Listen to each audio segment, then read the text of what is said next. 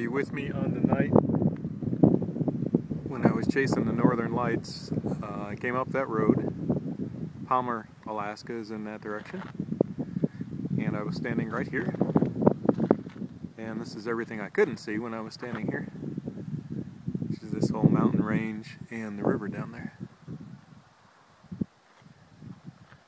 If you remember that video, it was completely dark except for the lights in the sky.